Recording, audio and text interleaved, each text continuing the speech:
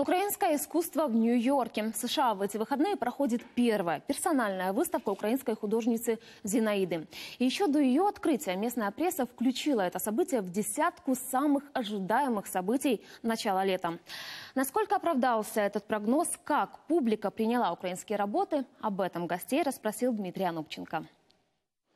Это Челси, уютный район в Нижнем Манхэттене, где, прогуливаясь, обязательно встретишь людей с мольбертами, ведь эта часть Нью-Йорка считается центром изобразительного искусства. А в современных зданиях и на территории бывших складов, реконструированных в 90-е, огромное количество галерей.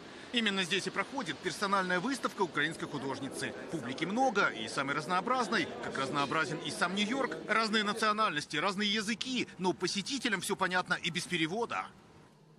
Это очень сильная женская история. Мне безумно понравилось. Тема женщин становится все более важной во всем мире. И эта выставка о том же и говорит. О сильных женщинах, которые смогли изменить украинскую историю, стали ее частью.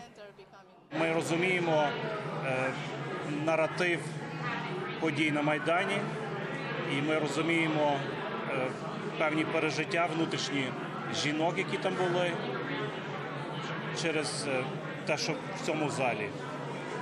Те, що знаходиться внизу відео, воно більше е, документація подій, яка зовсім не зрозуміла американцям, але дуже добре сприймається як мистецтво. Эти слова о второй части экспозиции. На большом экране видеоработа Зинаиды «Била труна». Результат многочисленных экспедиций художницы в Карпаты, где она изучает украинскую культуру и исторические символы.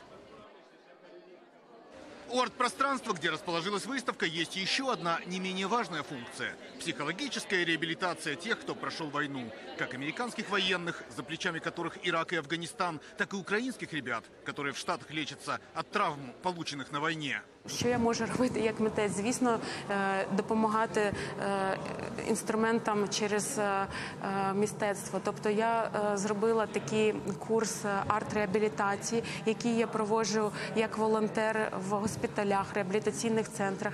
І також я привезла матеріали для того, щоб провести цей е, курс тут з міс- з місцевими ветеранами. Протягом того, як буде відбуватися ця виставка, цей простір також буде працювати для того, щоб провести е, реабілітаційну роботу через мистецтво з нашими військовими. И поэтому в зале, где выставка Зинаиды будет проходить еще месяц, всегда будут посетители. Ведь она о том, что важно для людей по обе стороны океана. И все равно, на каком языке они говорят.